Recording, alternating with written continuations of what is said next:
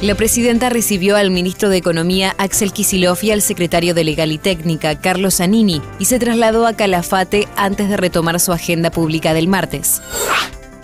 Boca y River batieron récords de recaudación en un certamen internacional 10 años después del cruce por semifinales de la Copa Libertadores en que Boca se clasificó en el Estadio Monumental. El presidente de Bolivia se reencontró con su primera maestra y con sus compañeros de curso de la escuela Julio Argentino Cornejo en la localidad salteña de Camposanto, a la que concurrió en 1966. El abogado y periodista Agustín Barletti cruzó a nado desde Gran Malvina hasta la isla Soledad, a través del estrecho de San Carlos, en una travesía de 2 horas y 7 minutos y en aguas que se encontraban a una temperatura de 4 grados.